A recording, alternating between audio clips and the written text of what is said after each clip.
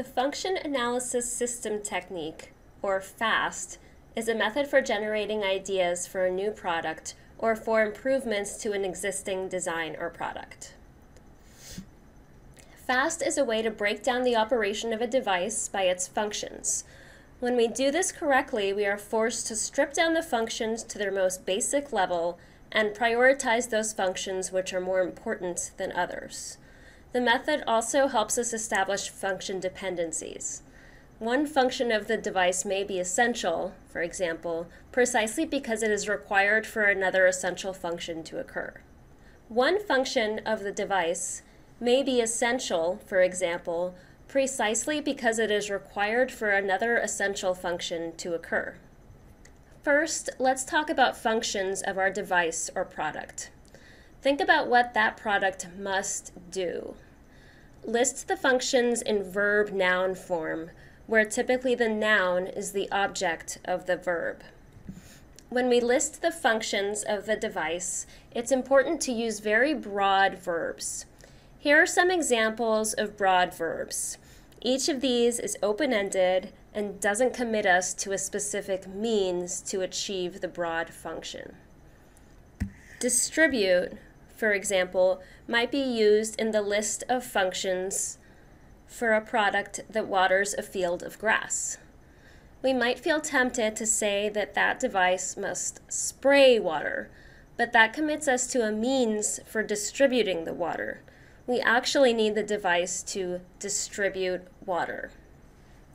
Once you make a list of functions in verb noun form, you'll likely notice that some of the device functions are more important than others. The overall product function can be thought of as the basic function. In the previous example, we might say that the basic or overall product function is that it waters lawn. Other functions are related to that overall function. Those other functions may be related to the other function by occurring simultaneously to the basic function these are called simultaneous functions. Some of the other functions you list may be directly motivated by the basic function or indirectly motivated by the basic function. These are called essential secondary functions. And any functions that occur as a result of the basic functions are called consequential functions. Finally, there are some functions that are essential to the occurrence of the basic function, and these are called all-time functions. So I'll explain the structure of a typical FAST diagram. First, we have the left system boundary. Just outside of the boundary is the higher order function. This is basically the overall output that you want to get from your device. The basic function is that overall function of the product. Next we ask directly how. Next we ask how does that basic function occur? In general, we'll move to the left of the diagram, attaching the functions we listed to the diagram by asking how.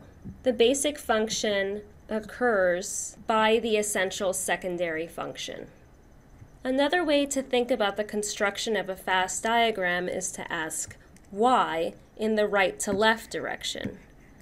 Why does the essential secondary function occur? Because we need the basic function to occur. Think about these questions as you construct your fast diagram. For example, we could ask now, how does the, the essential specific secondary function occur? It occurs by another essential secondary function. We can keep going until we reach an external function. How does that last essential secondary function occur? Well, it has to have some external input. There must be some external function. Once we've reached some external function, something that happens outside of the product, we've reached the other system boundary. Within these two boundaries, is the product domain. These are all the functions that occur within the product itself. This main path is called the critical path of the device. These are all the essential functions of the product. There will likely be other functions from your original function list that don't appear on the critical path. Some of these are simultaneous functions, others are consequential, and others are all-time functions. Beneath each critical path function, we place any functions that occur simultaneously to those essential functions. For example, if a function occurs simultaneously with the basic function, we place it underneath that basic function. Similarly, functions that occur consequential to a critical path function are listed beneath that critical path function as consequential functions.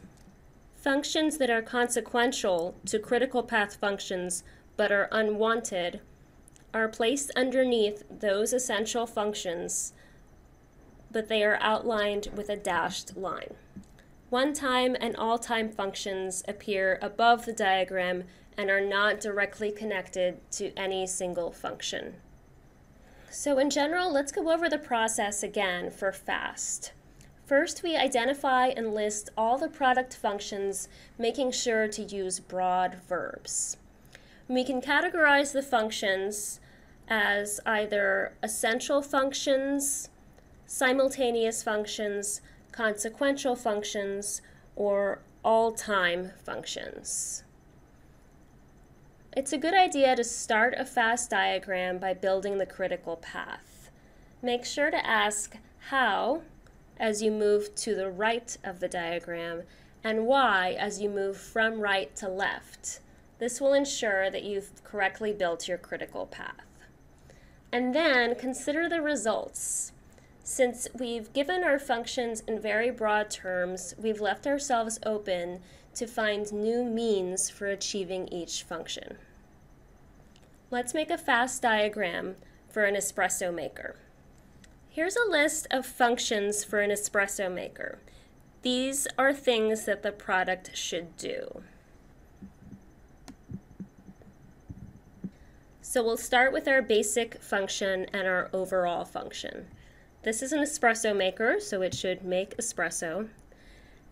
And out of the functions we looked at, that last function that must occur is to collect the espresso.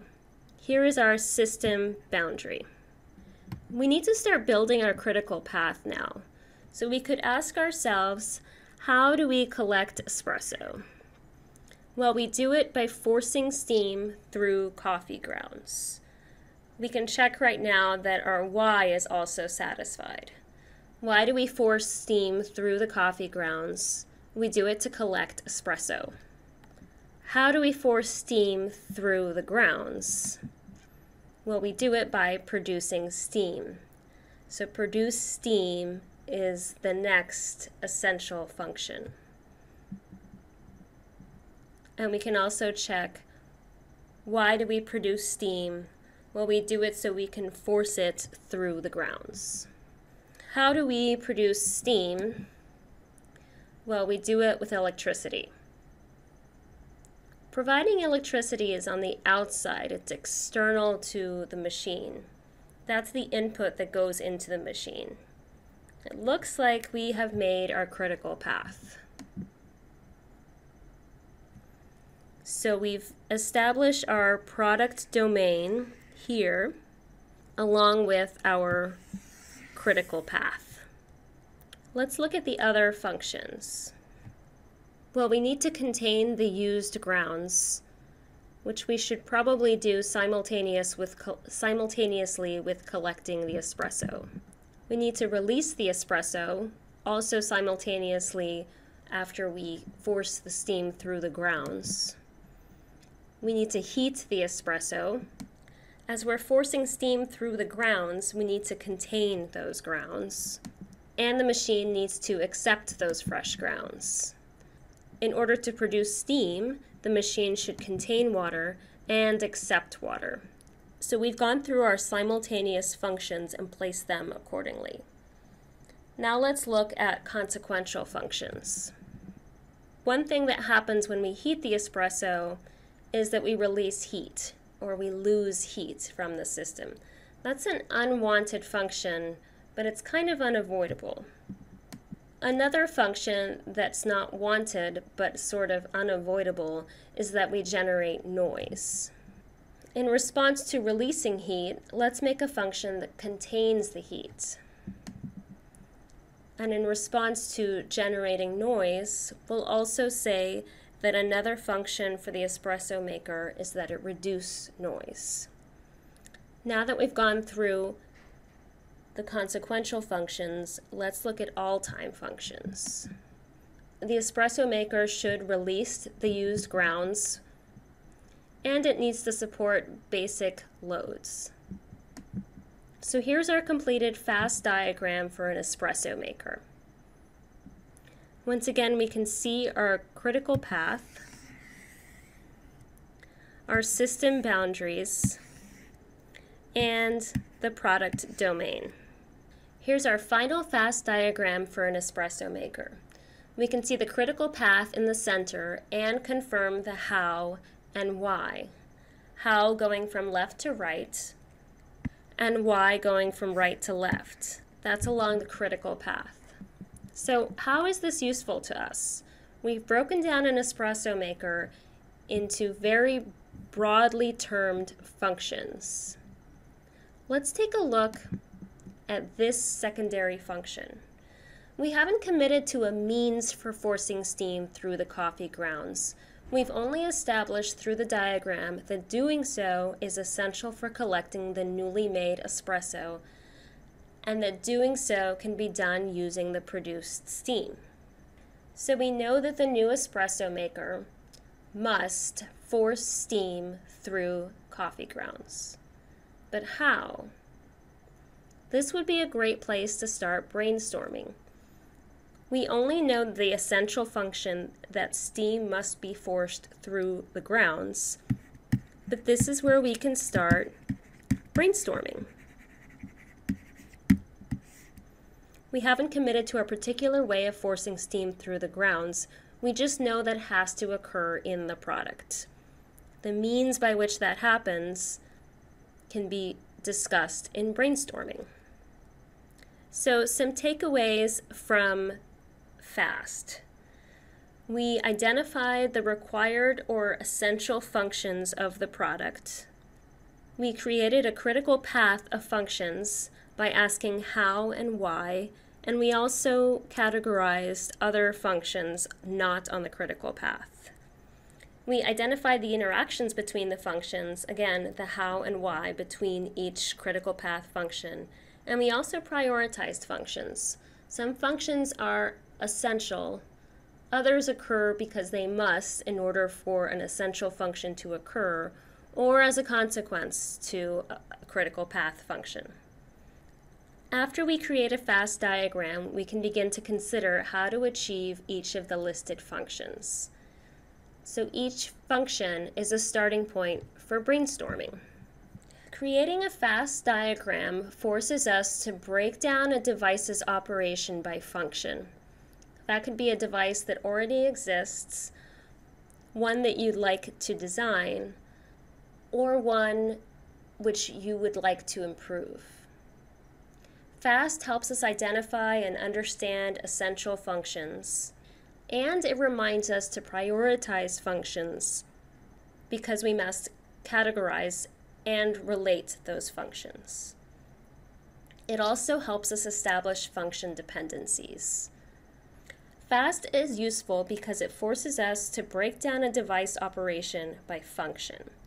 It helps us understand essential functions and reminds us to prioritize those. It establishes the function dependency and it starts a brainstorming process for other ways to achieve essential and non essential functions of a product.